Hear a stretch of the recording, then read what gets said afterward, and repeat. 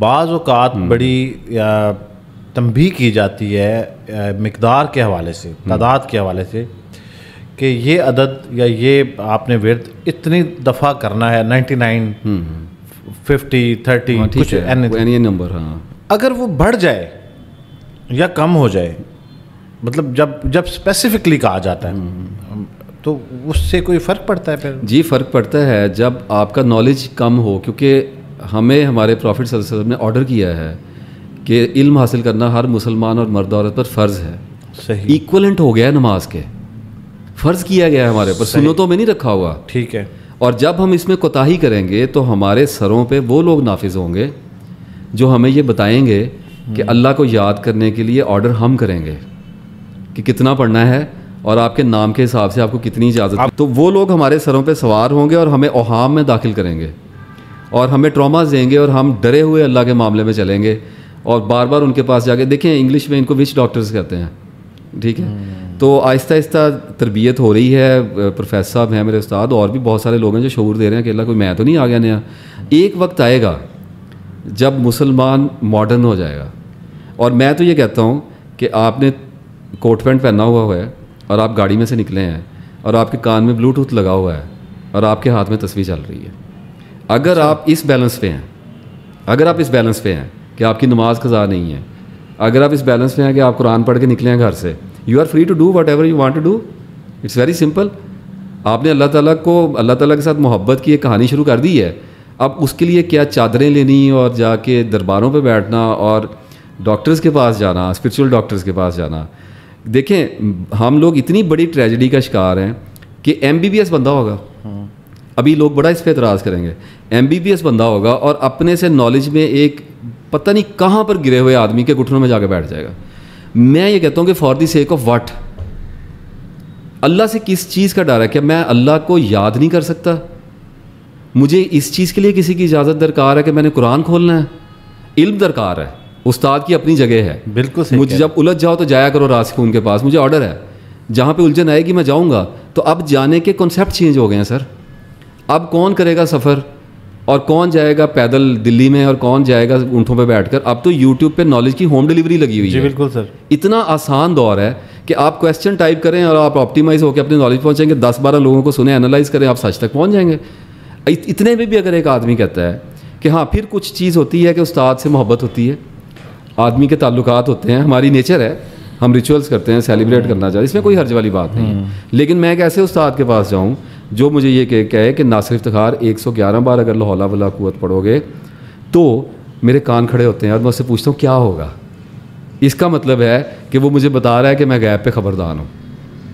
मेरे पास अल्लाह ताला की तरफ़ से अथॉरिटी है कि तुम इतनी बार ये पढ़ोगे तो तुम्हारे बच्चे ने जो लव मैरिज का घर में रौला डाला हुआ है, वो ख़त्म हो जाएगा। कैसे ख़त्म हो जाएगा? और ये असूल चलता है जुए के रूल पे।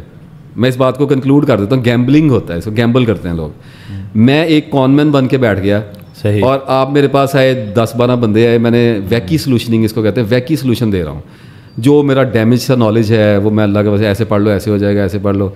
मज दुध नहीं दिंदी है पढ़ लो ऐसे तवीज़ डाल दिए फलां कर दी। तो सौ लोग जब मुझसे जाएँगे ना तो नेचुरल सिलेक्शन में बीस पच्चीस लोगों का काम हो ही जाना है। हाँ। उन बीच पर वो बीस पच्चीस लोग मार्केटर हैं मेरे। उनके गले में मेरा ढोल पड़ गया है अल्लाह ताला ने उनको उसमें गुमराह कर दिया है। जब आप किसी के पास चले जाते हैं नजूमी हो गया पामिस्ट हो गया कोई तवीज़ करने वाला जब एक बार आप चले गए तो आपने गिरवी रख दिया अपना आप।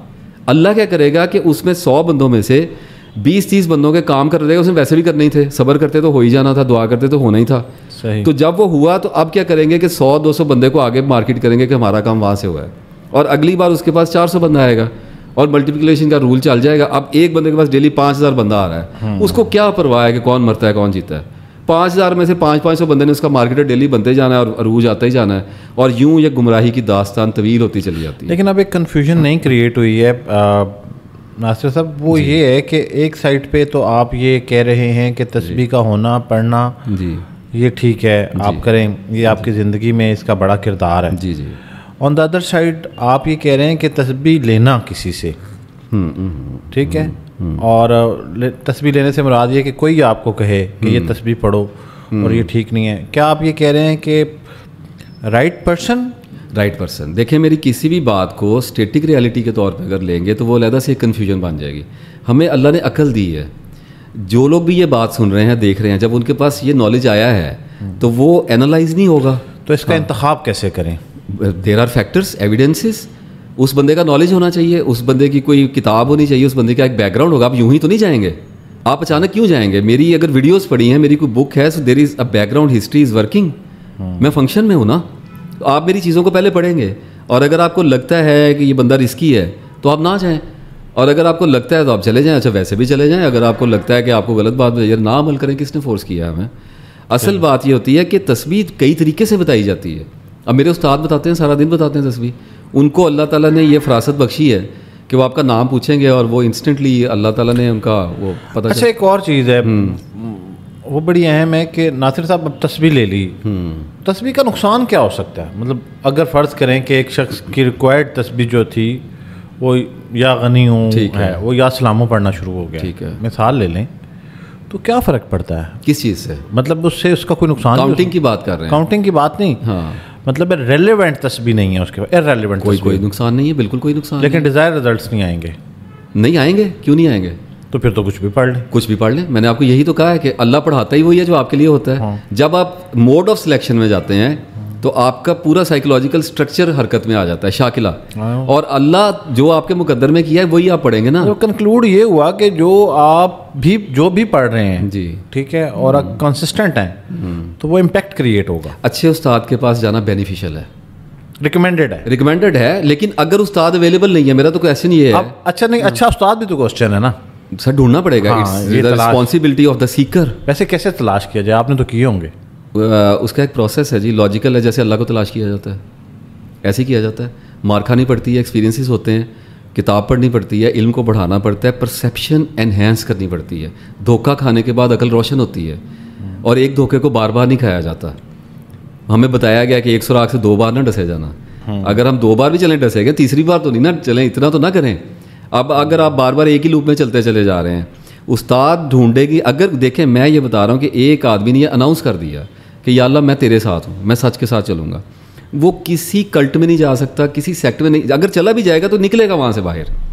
अगर उसके अंदर इखलास काउंट होता है सर एट दी एंड अब देखें ना जिसने ये किताबें नहीं पढ़ी हुई जिसने ये अंग्रेजियाँ और ये सारा कुछ ये मुराकबे और चिल्ले और ये नहीं पढ़े और उसके बाद प्रोफेसर भी नहीं है। अच्छा फ़र्ज़ कर लें मेरी जैसे बंदे की वीडियो भी नहीं है उसके पास मोबाइल ही नहीं है गाँव में बैठा हुआ है। है। वो बंदा कहाँ जाएगा? इतना इल्म तो दिया गया है, कुरान पाक में फरमाया कि जब हम बहाना करेंगे ना क्या दिन खड़े होके, कि या अल्लाह बात समझ नहीं आई तो अब अगर दोबारा चांस है या तोबा कबूल कर तो अल्लाह ताला कहेगा कि क्या इतनी उम्र नहीं दिए गए थे कि जो बात को समझना चाहता वो समझ लेता? इसका मतलब ये है कि तीस पैंतीस साल का जो बंदा हो गया है ना, वो पढ़ा लिखा है या अनपढ़ है, उसको एक बात समझ आ गई है कि मैंने झूठ नहीं बोलना। सही। मैंने जुल्म नहीं करना सही। मैंने किसी का हक नहीं मारना। तो सच्चा हो जाए। That is all about the enlightenment एक मोची बैठा हुआ है वो जूते गांट रहा है अपना काम करे ईमानदारी से पाँच नमाजें पढ़ ले नई तस्वीरों का किसी ने बताया ना करे एक चीज़ लाइलमी में रह गया तो अल्लाह ने उस पर किया ही नहीं ना। ये कौन सा कोई फ़र्ज़ था?